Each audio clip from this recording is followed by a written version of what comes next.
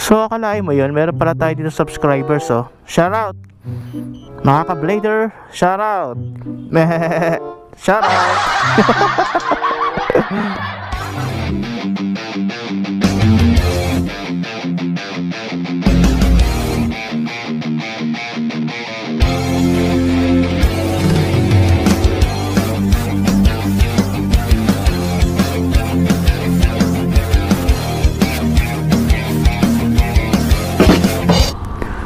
So, what's up mga ka-blader?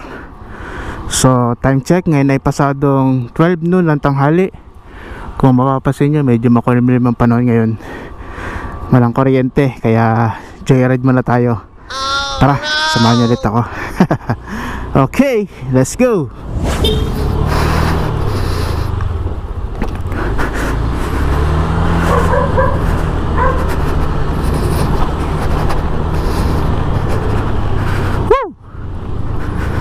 Grabe mga ka-blader, ang init ng panahon.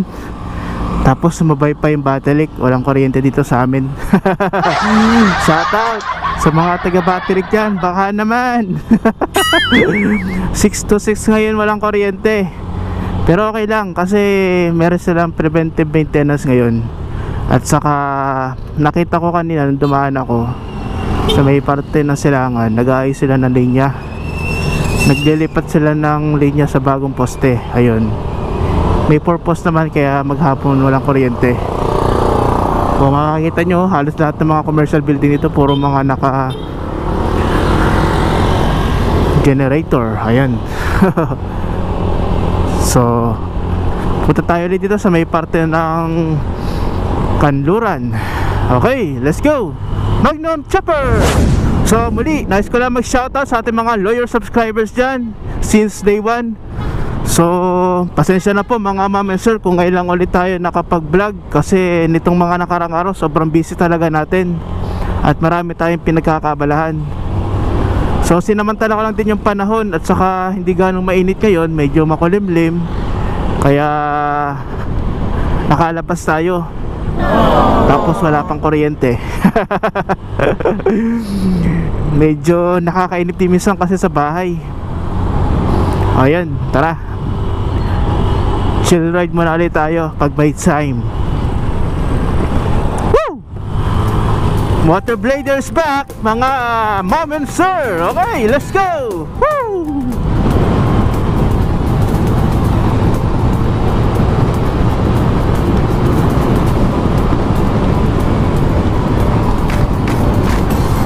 Ang sarap. Woo! Uy, dami mga cycles. So, dami mga siklista ron, mga ka-blader. Ganda ng panahon ngayon, no? Sana huwag umulan. Medyo makalimlim nga lang.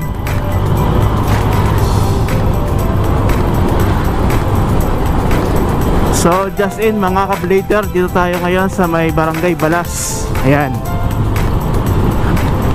Kung makikita nyo mga ka-blader oh, dito oh, sa may area oh, dami nag-aayos dito ng kuryente. So yun tama nga yung sinabi ko mga ka-blader kanina oh, nag-aayos dito yung battery. Oh, ang dami rito oh, mga nakapark.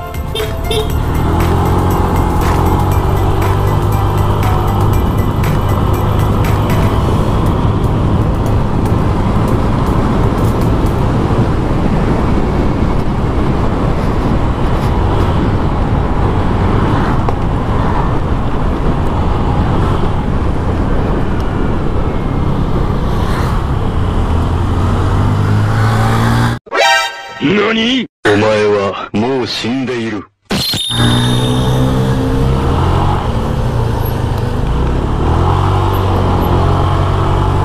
Okay.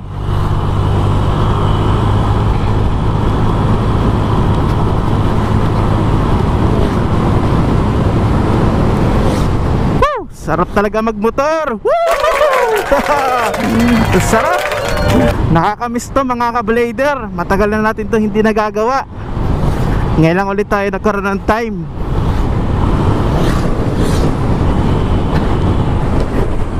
Nakakamiss din talaga mga ka-blader mag-ikot-ikot dito sa area. Ito yung experience na hindi mababayaran. Ika nga, priceless.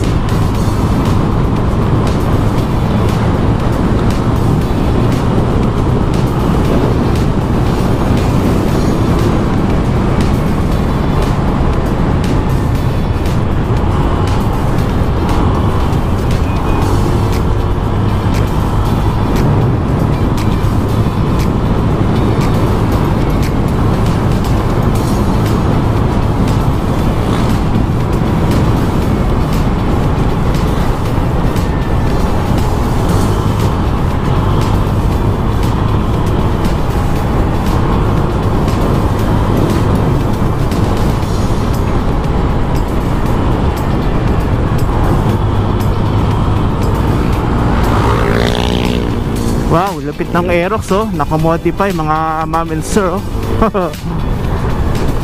Rumarat-rat si Kuya.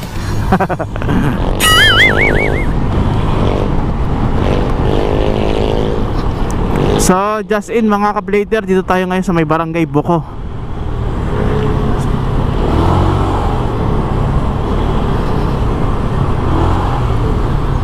Kakaibang experience na naman to mga ka-blader.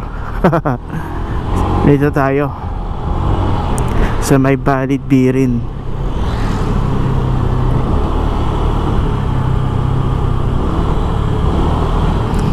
Ito yung mga isa sa paborito kong spot mga ka-blader pag nagra-rides ako. Wait lang, saglit lang tayo dito. Okay, ayun oh. Nakasarado, pwede kayo pumasok dito sa loob. Ganda rito oh. Ito ko madalas sumambay nun mga ka-blader. Kaya lang nagkaroon na kasi dito ng bakod, binakura na nila. Tapos dito may mga tambayan dito ng mga riders. Pwede kayo magkape-kape dyan pag may time. So sa ngayon nakasarado. Pwede naman siguro pumasok dito. So subukan natin, try natin. Tara pasok tayo. Dala natin si Sparky. Punta tayo sa loob. Nakasarado kaya? Ay, nakasarado. Ito pala, may padlock. Hindi pwede pumasok mga ka-blader. Gunggong! Barinig kita sa mukha eh! Okay lang. Punta na tayo doon sa uh, ibang spot.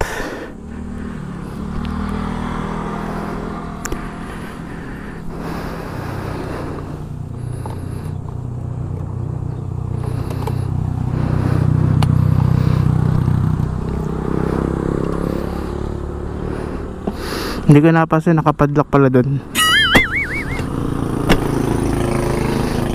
Dito ako nun madalas tumambay eh, kaya lang kasi naharangan na eh. Dati nakakapunta pa ako doon sa ilalim nun. Malapit sa may dalampasigan.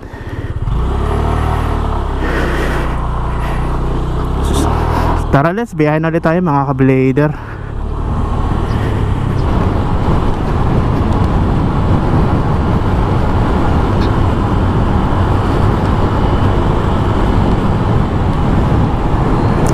So, just in mga ka-blader, dito tayo ngayon sa may barangay Lanes.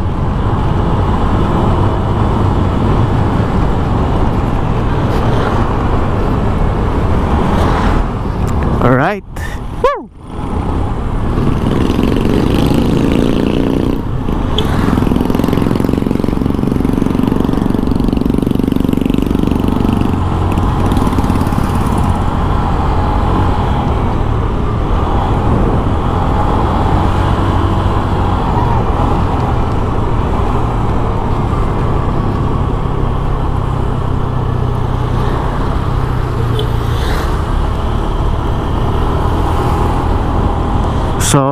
So, aahon tayo dito sa area mga ka-blader.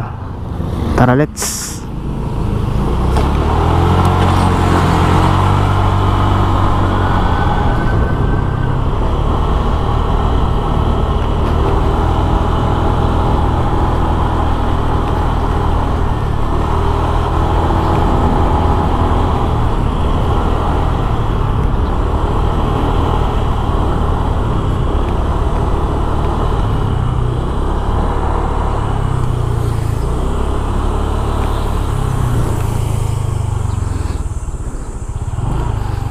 Isa rin to sa masarap na spot na puntahan mga ka-blader.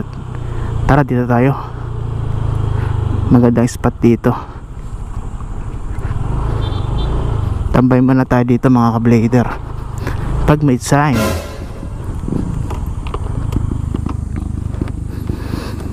So, palipad tayo dito ng drone mga ka-blader. Maganda tong lugar, medyo maluang. Saka medyo safe.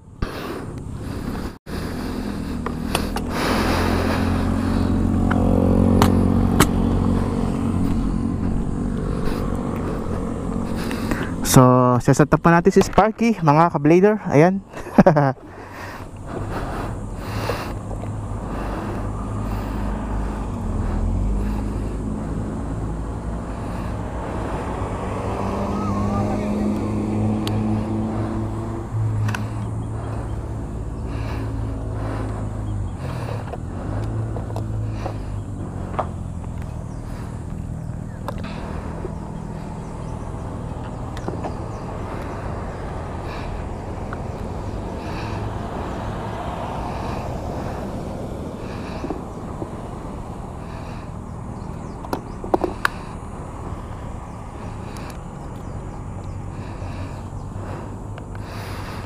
Magandang spot dito oh.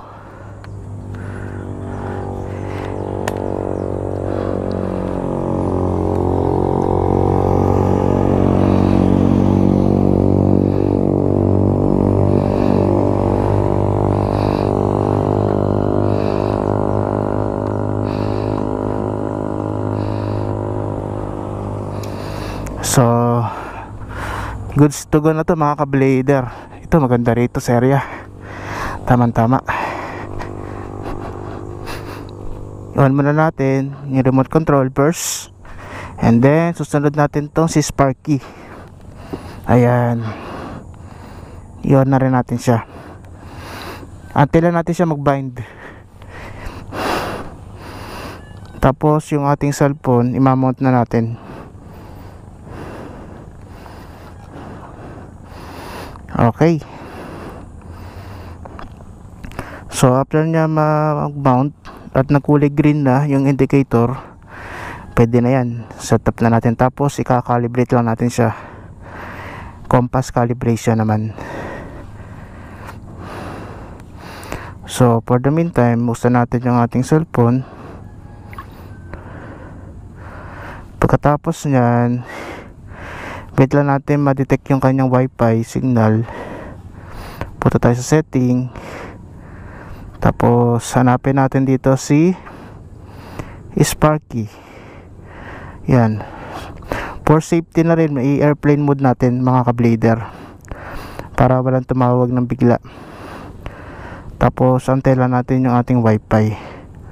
So ayun na si Sparky Adventure. Ayan nakakonect na siya. After nyan, punta tayo sa kanyang apps. DJI GoPro. Ayan, goods to go na yan. Once na open natin, connected na yan sa ating aircraft. Ayun, so makikita nyo sapatos ko mga ka-blader. so hindi pa tapos tayo. Although meron na siyang GPS, para lang mas safe, i-compass calibration pa rin natin siya maganda na yung sigurado tayo prevention is better than cure ika nga so ayan. Paikot-ikot lang. Oh tapos vertical naman. Ayan. Yun okay na. Goods to go na to mga ka-blader so ready na. Pwede na tayo mag take off.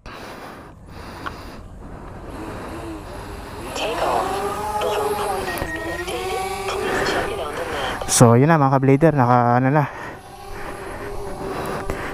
Kung makikita niyo si Sparky, you know. Hello Sparky! Ayan oh. Ito, lalapit tayo kay Sparky mga ka-blader. Ayan oh. Ayan na si Sparky mga ka-blader. So, nagbibip siya kasi malapit tayo sa sensor. So, gawa lang tayo ng quick shot mga ka-blader. Para meron tayo souvenir sa ating rides.